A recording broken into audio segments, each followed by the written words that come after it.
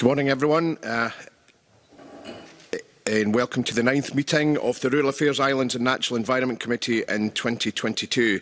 Uh, before I begin, could I ask all members using electronic devices to switch them to silent. Our first item of business today is consideration of a negative instrument, the Red Rocks and Longay Urgent Marine Conservation Number 2 Order 2021, Urgent Continuation Order uh, 2022 SSI 2020-39 and I refer members to paper 1 and 3. Uh, no motion to annul this instrument has been lodged. Uh, does any member have any comment on this instrument? Uh, could you please raise your hand or if you're remote, uh, please type R in the chat box. Mercedes Falalba.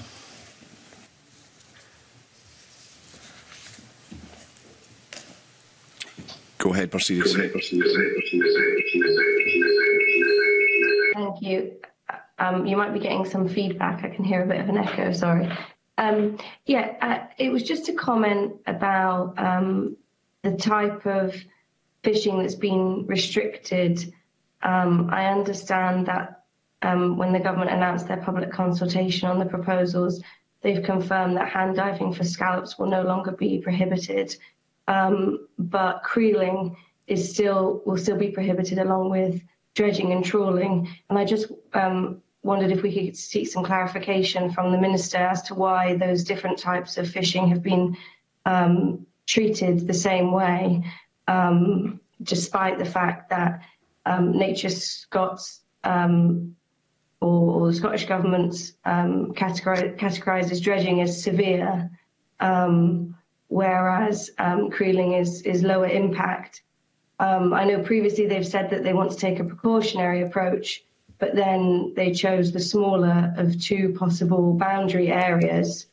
Um, so I, am just confused as to whether it's precautionary or or not, um, because it seems that within the within the new smaller boundary, everything will be prohibited, and then outside the boundary, everything's allowed. when actually we've got different types of fishing with different uh, impact levels. So if we could seek some clarity from the Minister as to why they've been categorised in the same way, I'd be grateful.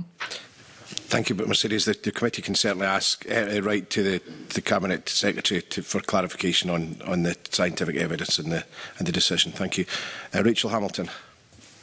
Thanks, convener. I was going to ask the same question. Okay, um, well, we'll make sure we're right for, for clarification. Uh, Any other members? Any comments? Are members content to note the instrument? Thank you. Our second item of business today is consideration of the Organics Derogation Amendments Regulations 2022 and I refer members to papers 2 and 3 from page 8.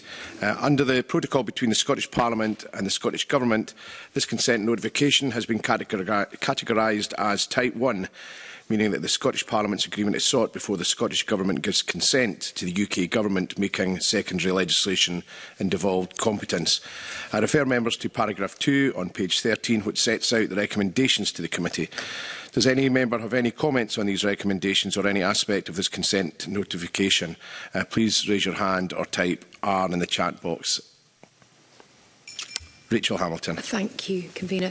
I, I just wanted clarification from the Minister why they had actually chosen to um, go along with the uh, same policy as the UK. I believe that there's a, an issue in supply um, of, of some of the material for uh, organic pollets. However, um, there's no explanation in here. As to, every time we do some legislation, there's never an explanation as to why the Scottish Government choose to take not take a different route from the rest of the UK. And I was just wanting some clarification on that, if I may.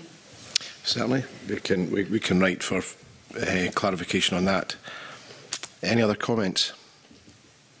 Is the committee content that the provisions set out in the notification should be included in the proposed UKSI? Raise your hand or type N in the chat box if you do not agree, otherwise I'll presume members are content. Thank you. We are content.